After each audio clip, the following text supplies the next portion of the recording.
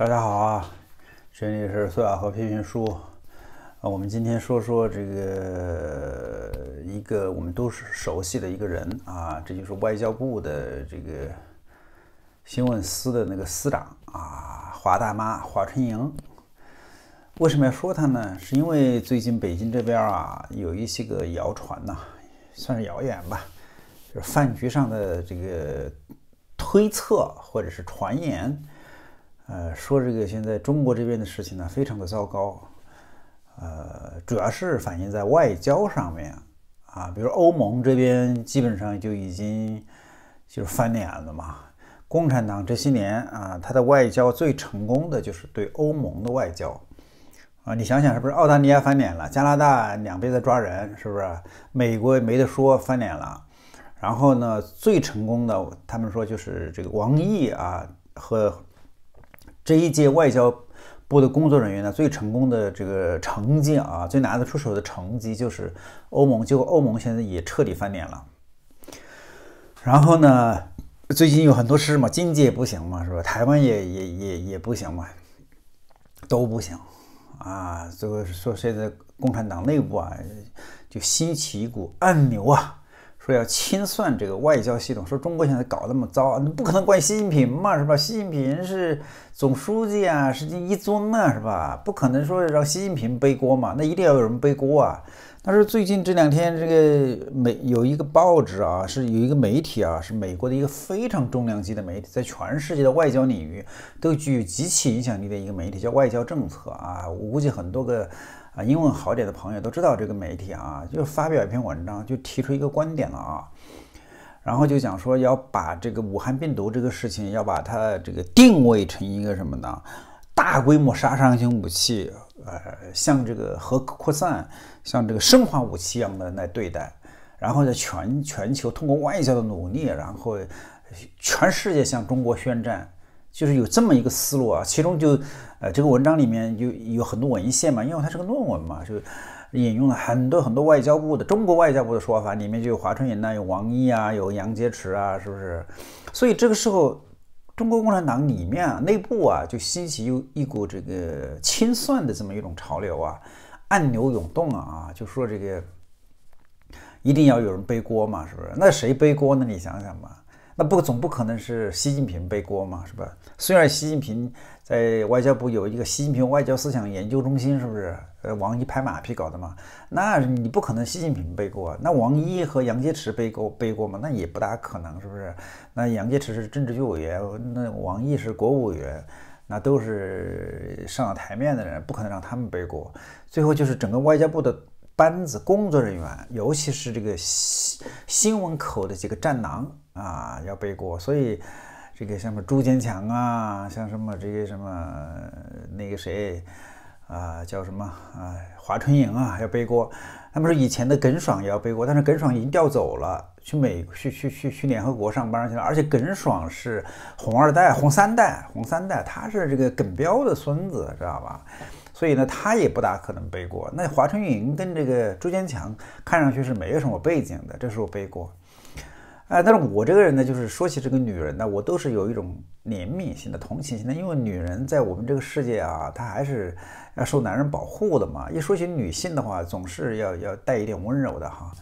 而且一个时代，嗯，来他来临的时候，风暴来临的时候，共产党每次作妖的时候，他特别容易这个什么欺负女人。而且欺负的就是那些爱共产党的女人。那我们都知道，有很多有很多个文革啊前后，就是共产党这个作恶以来啊，有些很多个的人呢，都是死的很难看的。所以现在江湖上有一种说法啊，说这个华春莹以后会死的非常难看。他死的有谁难看呢？有一个有一个女人是在文革的时候被共产党整死的，整的非常难看。后来把她塑成一个英雄啊。这这个人就是张志新呐，就是年轻的人可能不太知道啊，年纪稍微大一点人都知道这个人，张志新啊，说说以后啊，你别看这个，别看这个华春莹现在是个战狼啊，现在是是到处打口炮，但是有一天共产党要收拾她，一定是从她下手，因为她是个女的，因为没人保她，不是有人说她的老公也死了吗？是不是？就没人保她，最后就要拿她出来祭旗啊，拿她出来这个什么？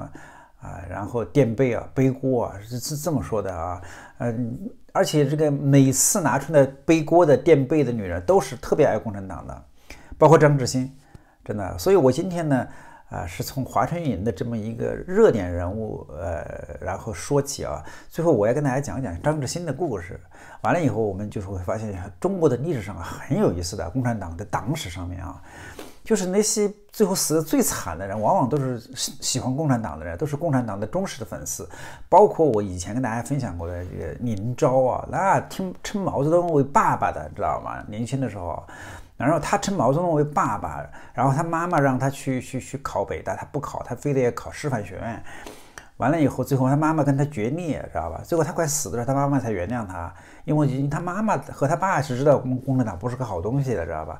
那你张志新呢，是铁杆的毛粉，我跟你说，铁杆的什么共产党、共产主义的这个什么建设者，知道吧？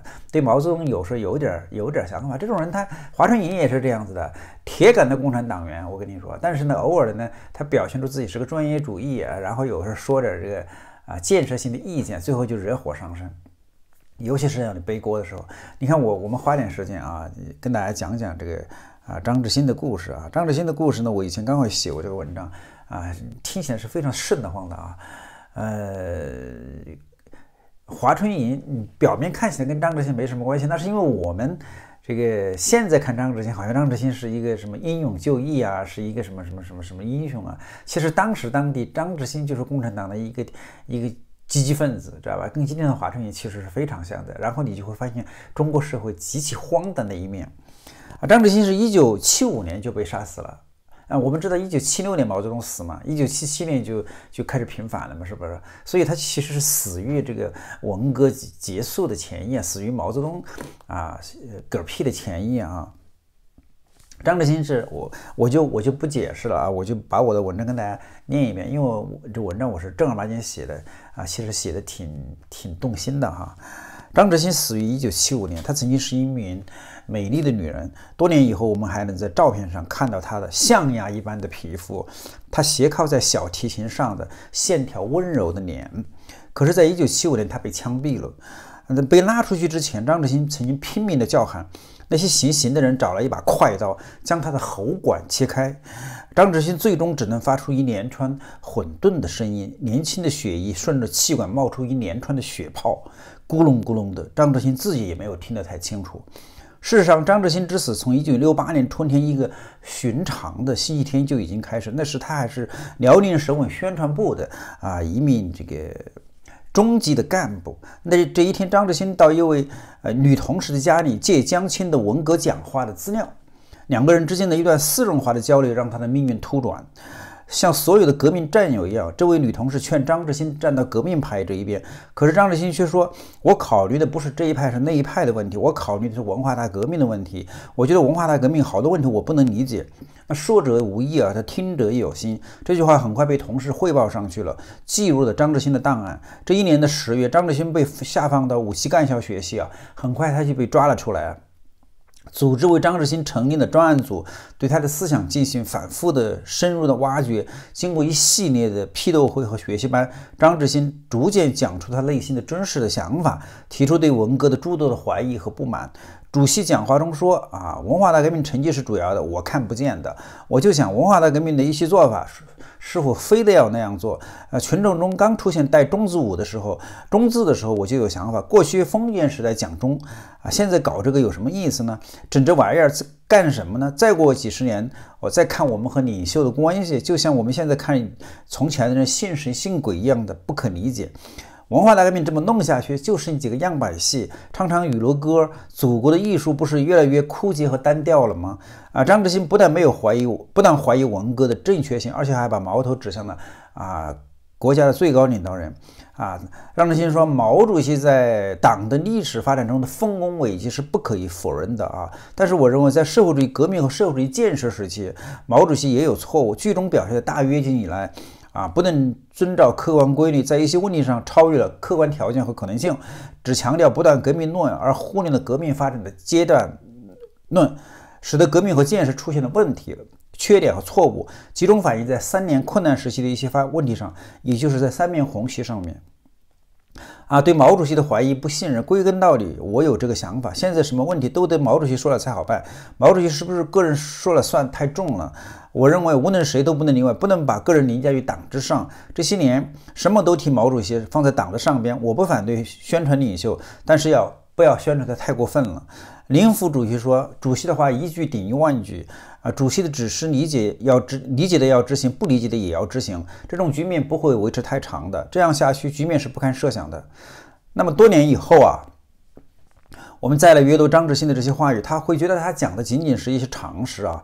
可是，在当时，在一个啊集体盲从的一个时代啊，任何一种怀疑文化大革命、怀疑最高领袖言语或者行动。”呃，都能够招致灭顶之灾啊！所以张志新留给历史的价值，不在于他的思想的深度啊，而是在于一种勇气，一种对常识的坚守。他的确没有深刻的思考或者崭新的创建，他的确是共产党的这个铁血的这个共产党人哈，但是他不甘受到思想的奴役啊，并选选择如实将他的所见所感都讲出来。我们注意到另外一个事实啊，尽管张志新对党在文革中的做法提出了许多的批评意见，但这些意见都是以一名共产党员的身份啊，向组织公开的提出来的。在多次的谈话中，他一再表明坚持党的领导。服从组织的安排啊，他还记得党章中赋予党员的批评建设的一个建议的权利啊，党员有权向党的组织和各级领导人提出批评和建议，党员对于党组织的决议指示如果有不同的意见可以保留，并有权于越级直直接向中央和党的中央主席汇报，要造成一种既有集中又有民主啊，又有纪律又有组又有有纪律又有自由又有统一意志又有个个人心情舒畅。生动活泼的这个政治的局面，张志新显然是一个非常相信党共产党党章的人啊，他相信这样的条款是一名党员的最高的制度设计啊，因此他信任党组织会接受党员的批评，也敢于向组织提出这样的意见啊，全国啊共共筑之和，党内的民主啊啊，这个个人心情舒畅有矛盾，即便面对牢狱和酷刑呢，他仍坚持说。啊，前提和目的只有一个：捍卫党的原则和革命的利益。以今天的呢眼光来看的话，张志新简直就是党的体系之中最鲜活啊、最有建设性的力量之一啊！他从来不是异端分子啊，从未突出，从未试图突破共产党思想的框架。他没有离经叛道啊，叛道啊，他只是他的几句真话，而触动了。最高权威脆弱的神经呢，使得某些人因惶恐而生痛恨呢，呃，生杀予夺自然不在话下。他当然也无法理解哈，在高度集权的社会中，一切制度不过是无条件啊服从于最高权力意志的装饰品的。他的生存的权利、言论的自由的权利，随时都有被剥夺哈。我们甚至可以说，张志新在某种无意识的状态下，让自己偶然做了这个共产党这个。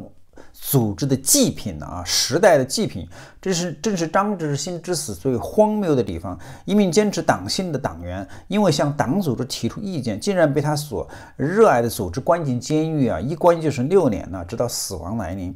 这是最黑暗的六年时间，张志新一直被关在一个小号里面，没有窗户，没有光线，戴着手铐和脚镣，只能坐着，不能躺下。他被彻底隔离起来啊！他的家人再也没有见过他一面。狱警总是唆使一些刑事犯去殴打他，他们揪光了他额头上的头头发啊！他们强迫张志新把擦地板的破布塞在嘴巴里面，还给他的饭里啊这个掺掺煤渣啊！看守所长甚至只是手下不发给张志新啊必要的这个女性的卫生巾的用卫生巾的啊手纸啊。后来一名啊监狱里不知姓名的妇女告诉张志新的家人说，张志新多次遭到了这个狱警啊和那个男犯人的强轮奸呢啊。在长期的虐待之下，张志新精神失常，他经常赤裸着身子窝在小号里面，用窝窝头沾着月经血吃啊，在还在大床还在他的小床上大小便。啊，即使疯了，张志新也没有苟活的权利啊。对于张志新是否精神失常的问题啊，啊，监狱工作人员曾经向上级指示，但上级未经任何司法调查啊，就做出批示啊，他的假象本质不变，仍然按照省委的批示执行。对于张志新最后的处理啊，辽宁省革命委员会负责人毛远新在常委上。说啊，多活一天就多搞一天反革命啊，杀了算了。啊，张志新的死刑可能是迄今为止人类杀人意识上最残酷的一章啊！将一个精神失常的人执行死刑，已经有悖于人道啊！而在张志新临刑前，为了防止他喊出反动的口号，监狱人员居然强行割断他的喉管。这是一九七五年的四月四号，他被。秘密带到监狱的一个二层楼的办公室，没等张志新弄清楚是怎么回事儿就被几个窜上来的人按倒在水泥地上，啊，头枕一块砖，强行切断他的喉管。为了维持呼吸，就把一个三寸来长的小手指粗的不锈钢管插进这个张志新的气管里面，再用线将连接着气管的这个金属片缝在。啊，刀口两边的肉上啊，张志清奋力的反抗，剧痛使他咬断了舌头啊，血水淌满了，呃，血水流满了这个前胸啊，他脖子上的伤口不时的冒出带血的气泡，嘴里不时呕吐着似血似水的唾液。面对如此骇人的杀人场景呢？啊，啊我们今天的愤怒是没有意义的。让我匪夷所思的是，一个看上去庞大到极致的组织，为什么会对一个单纯的女人如此惧怕？他们不仅要消灭张志新的肉体，还要剥夺他最后一次正常呼吸与叫喊的权利。他们不仅害怕张志新自己独立思考，还担心他的孩子们的血液中残留着张志新批评与怀疑的火种啊！我们应该把一九七五年定性为这个张志新之年了。开春不久，张志新即将执行死刑的时候呢，党党和政府命令张志新的丈夫带着女儿啊啊一起去参加沈阳法院举办的家死囚家属学习班，在法院的询问下啊，十七岁的这个曾玲玲，哎，就是他的这个呃姑娘啊，他的儿，他的姑娘，还有八岁的曾童曾童童做出了笔录啊。曾玲玲说，当刚听说张志新犯了反革命的罪行，我当时感觉到。这会影响我进步的，这下可完了。但经过学习，提高了认识，啊，魔女魔女之间是有阶级性的啊，魔女关系是有阶级性的。她虽然生了我，可是我是我的母亲，可她是反革命就不是母亲了，已经是我的敌人啊。她反党反毛毛主席，我们就和她斗争到底啊。后我我后来经过学校老师和家长的教育啊，我已经认识到她反革命，我已经和她划清界限，并不会影响我的进步啊。然后说呃这个。这个法院的人问他啊，张志新实属死心塌地啊，最大恶行，你们有什么想法啊？两个孩子同时回答：坚决镇压，把他判处死刑，为人民除害。我们连尸体也不要，政府愿意怎么处理就怎么处理，我们都拥护啊。对于张志新在监狱里面还有什么财物，我们什么也都不要，还是由政府来处理。啊，不过呢，他们也没有想到的事情呢，呃，张志新死后啊，还会继续给他们带来困扰。仅仅过了四年的一九七九年三月二十六号，啊，当下当年下令割断啊张志新喉管、执行枪决的辽宁省委就不得不做出为张志新平反昭雪啊，追认为他为革命烈烈士的一个决定啊，这份决定。死的是写的是如此的冠冕堂皇啊，如此的义愤填膺呐啊！张志新同志惨遭杀害，是林彪四人帮及其死党一伙阴谋篡党夺权呐，推进极左路线的搞法西斯专政所造成的严重的恶果。我们要把千千仇万恨记在林彪四人帮及其死党的一伙的身上啊！那些怀念张志新的人们，似乎从这样的文件里。读到了一点点希望，但是三个月以后啊，有人忽然意识到张志新的遭遇可能会让更多的人们呢对这个共产党的邪恶的制度产生一个更大的怀疑，所以稳定压倒一切啊，他们后悔了。不再让人们继续谈谈论张志新的故事，所有的媒体、所有的历史教材开始屏蔽张志新。张志新的名字再一次成为中共党史的一个禁忌啊！可以这样说，这是张志新的第二次死亡，他再次从人们的视线视线中消失，直到今天。张志新的审审判的案卷至今仍然在辽宁省高级人民法院的绝密的档案里面。啊，后来出生的那些过于年轻的人们，完全不知道我们的历史里面曾经有一个叫张志新的美丽的女人，她的故事、她的身体、她的血液，曾经让多少苦难中的人们夜不能寐、泪水横流。啊，这就是张志新的故事啊！我我我这个文章我已经写了十好几年了，一直就没有地方出版啊，一本书嘛。哎呀，我说这句话的意思是什么呢？就是你会看到张志新这样的人，他是个铁血共产党员，他是一个真正的共产党里面的人，啊，他如果不死了，他活到今天，他应该就是华春莹这个样子，有一点有一点专业能力，啊，有工作的热情，爱党爱国，真的，然后被。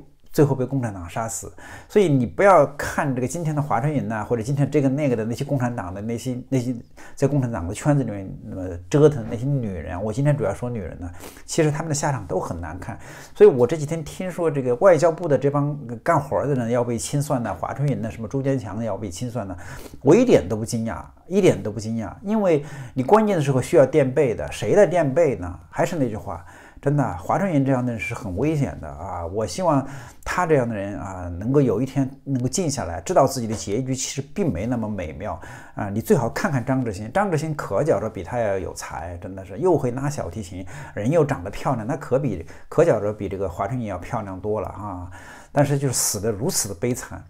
啊，一生为共产主义奋斗，最后死于共产主义的魔鬼的屠刀之下，死的极其屈辱，没有尊严，真的是，这就是中国人的命运，这就是张志新的命运，在某种意义上也是华春莹这种这个女人的命运，这是也是我们每一个人的命运。所以，我们面对这样的一个邪恶的组织，真的，我还是那句话，能走就走，千万不要纠缠。